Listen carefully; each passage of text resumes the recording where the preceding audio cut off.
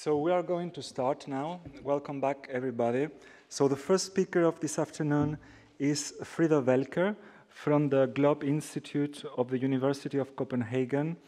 And he's going to talk about ancient hominin, a bit the kind of follow-up of what um, Jean-Jacques has started to evoke. Ancient hominin proteomes, a novel frontier in human evolution research. Thank you very much. All right, so thank you for the introduction. Thank you as well for inviting me to, to be present, although digitally and at a safe distance from, from all of you. Um, this morning was great to, to follow the, the meeting, uh, so I hope that the afternoon is just as pleasurable. Um, I'm Frido Welker, I'm a researcher here at the University of Copenhagen, and I try to study human evolution using ancient hominin proteomes. Um, so probably one of the take home messages is that we live in extraordinary times and not just because we are social media consuming bipeds, but also because for most of our evolutionary history, there were actually multiple populations or species of hominins present. And Jean-Jacques already mentioned this, we live in an extraordinary time period in the sense that only our population or species exist. Uh, but for most period of time, if we would go back either within Africa or outside of Africa, there were multiple hominin populations present that either interacted with each other because they geographically and temporally overlapped or that adapted to specific local environments. And so from a paleo paleoanthropological point of view, it's extremely interesting to try and understand how these different hominin populations relate to each other, biologically speaking. At the same time, we would of course like to understand how these hominins behaved. Uh, for example, when it comes to prey acquisition um, and resources, bone material as a resource, um, and proteins have the potential to provide some insights into that, as, as Jean-Jacques pointed out. Um, and similarly, particularly for more recent time periods, it's of interest to understand how the genus Homo evolved its cognitive abilities and started to express these enhanced levels of cognition within the material culture record.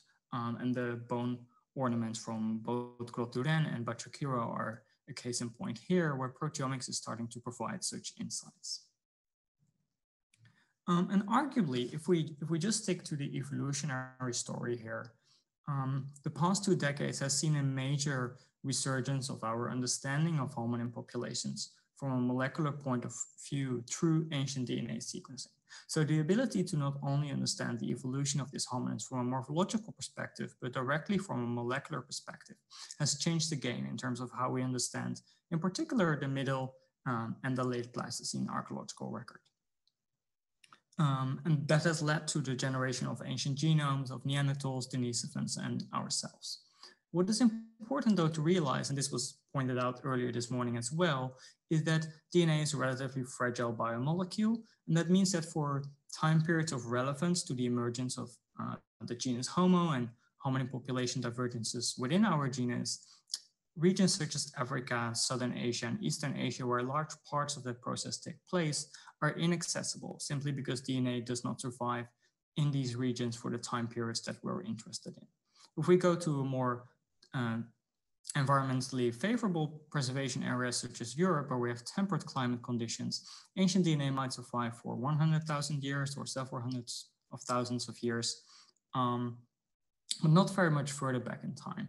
And that means that even in the most extreme calculations one could make, ancient DNA of relevance to human evolution survives for maybe 5% of the time that has passed since we diverged from the common ancestor we shared with chimpanzees seven to eight million years ago.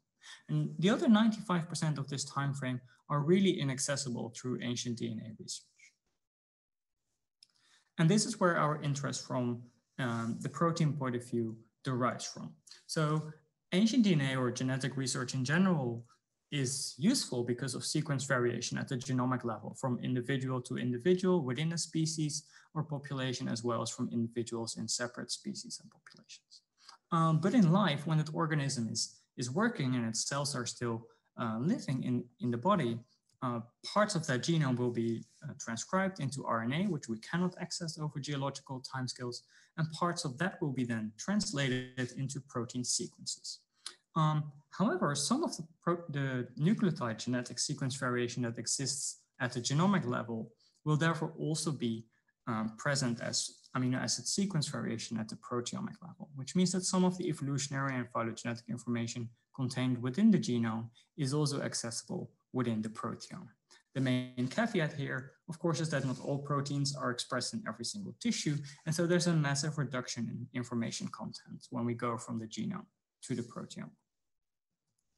Still, if we have an ancient sample, for example, a tooth sample, um, current methodologies allow us to sample part of that um, skeletal tissue, extract the proteins from it, uh, modify it through a variety of steps to make it suitable for protein mass spectrometry analysis.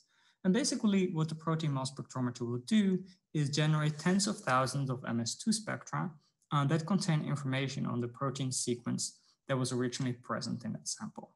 So we can then use a variety of bioinformatic tools to reconstruct an ancient protein sequence and compare that ancient protein sequence with other protein sequences from different individuals or organisms, and then use that as our input for um, phylogenetic reconstruction. Obviously, we're dealing with ancient biomolecules here, and so we have to be extremely careful when it comes to potential contamination of our ancient proteins. So for example, of course, when the organism enters the burial environment, it will be colonized by microbes and fungi and other sources, um, and those will all leave behind their own proteins as well, in addition to uh, their DNA, for example. And so when we do, when we analyze an ancient fossil specimen, it will contain contaminating proteins from external sources. Likewise, the moment such a skeletal um, element is excavated by an archaeologist or handled by a student or curator in a museum, again, proteins from external sources will likely be deposited onto that skeletal specimen. And so we have to watch out for the presence of such proteins. Uh, finally, to at least circumvent any contamination happening within the analytical environment, we tend to work in ancient DNA grade laboratories with separate spaces for separate um, activities. We wear uh, protective uh, equipment. We use sterile consumables, etc., to minimize the impact of protein contamination within the laboratory and mass spec environments.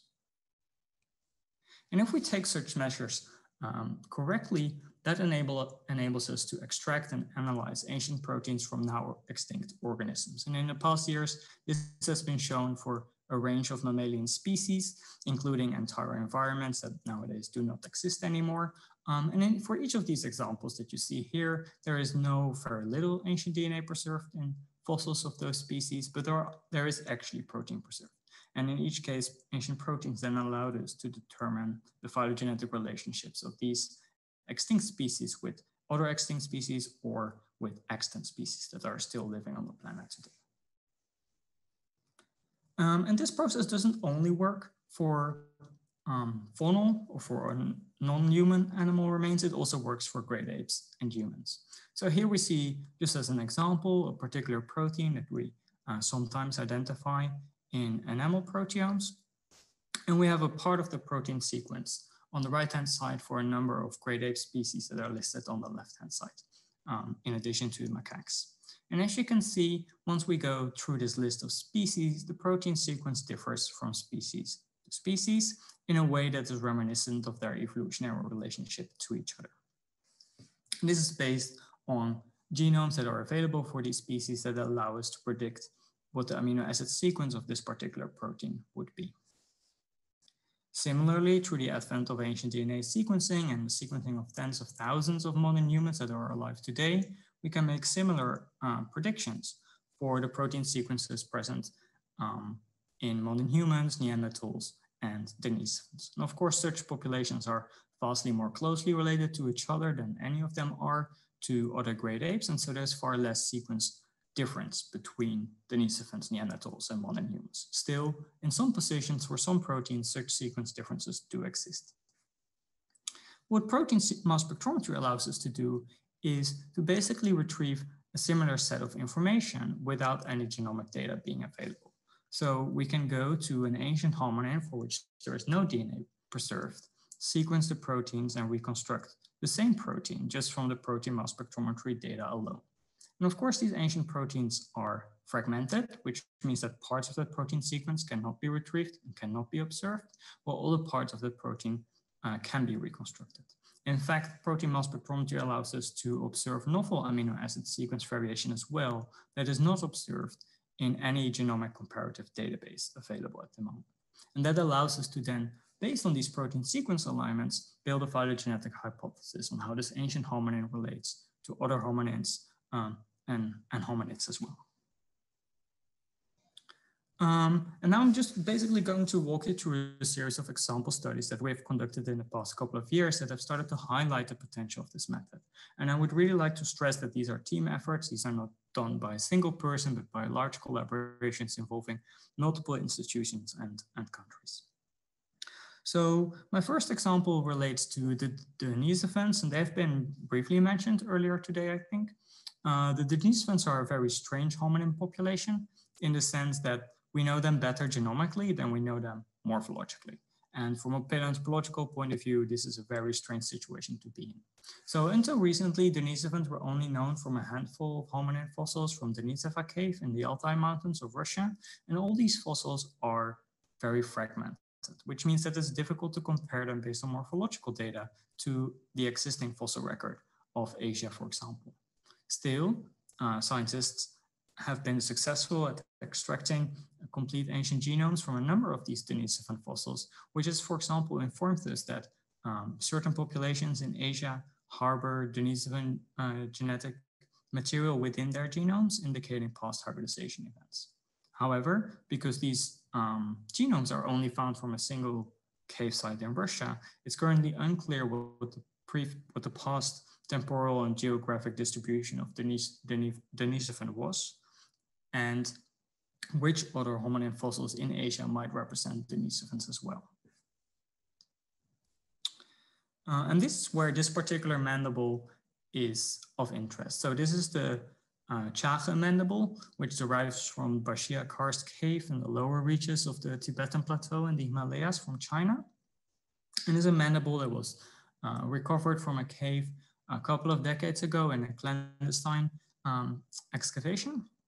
So it's not without direct archaeological context at the moment, um, and it preserves no DNA. But the Chinese colleagues uh, reached out to Professor Hublin and myself to see if potentially there was any protein preserved in this specimen in the hope to elucidate at least something about the evolutionary relationships of this hominin mandible to um, ancient genomes available. The interesting point here was that morphologically speaking, this mandible and the teeth within it do not resemble modern humans, they do not resemble Neanderthals, and they're also not like Homo erectus. But because we didn't have any comparative material available for Denisovans, it was unclear whether or not this could potentially be a Denisovan. So we walked, we took a number of samples from the teeth and the bone itself, and, walked, and extracted the proteins from them, analyzed them on a protein mass spectrometer, and reconstructed the protein sequences for a small number of proteins that had preserved in this specimen. We then compared, compared those protein sequences to the protein sequences present in Neanderthals, Denisovans, modern humans, and other great ape species. What we found was that the Xiahe proteins, ancient proteins preserved in the Xiahe mandible, most closely resemble the protein sequences uh, predicted from the Denisovan high coverage genome. And this is to the exclusion of the same protein sequences present in Neanderthal populations or modern human populations, which gives us for the first time an insight into a significant part of Denisovan uh, skeletal morphology, in this case, the jaw or the mandible, um, as well as the morphology, of course, of these teeth. And this is important because it allows um, paleontologists now to make a larger comparison of morphological similarities between this mandible and other um, mandibles and teeth present within the fossil record of uh, Southeastern and Eastern Asia. What is just as relevant though is the age and the location at which uh, the Xiahe mandible was found. So the Xiahe mandible is at least 160,000 years old and it derives from a cave that's located over 3,000 meters in altitude, which means that this is an environment with low oxygen concentrations, uh, with very sparse vegetation and low herbivore densities, even in the interglacial periods that we're living in right now. However, the Xiahe mandible derives from glacial time periods, which means that these archaic hominins, Denisovans and their close kin, must have been extremely adaptive in being able to survive in an environment um, like this, particularly in glacial time periods. It pushes back high altitude occupation into entirely unknown and unexpected territory. My second example relates to Homo antecessor. So Homo antecessor is this hominin from Spain. Um, and in contrast to Denisovans, there's actually a wealth of information available on skeletal morphology of Homo antecessor from this one site where this uh, fossil species has been recognized. But despite this wealth of morphological evidence, there, since its description uh, roughly two decades ago, there's been a continuous debate in the literature about the phylogenetic position of Homo antecessor, in particular in relation to the emergence of the Neanderthal lineage and the emergence of Homo sapiens. And this could not be resolved just on morphological evidence alone, quite clearly. Um, but therefore, we were given the opportunity to analyze an enamel fragment from a fragmented molar from Homo antecessor. And if we do such a study, uh, we actually observe several signatures that allow us to be confident that the proteins we analyze are ancient. So one of those is protein fragmentation. Just like DNA or any other biomolecule, proteins fragment and fall apart over time, and we can observe this process directly in our data. So here we just see an example where we have multiple observations of the same protein region in um, the Homo antecessor sample, but you can also see that on the C-terminal end, amino acids have been removed, have hydrolyzed off. And this is an indication, this sort of shortening of the protein sequence is an indication of uh, of diagenesis over time.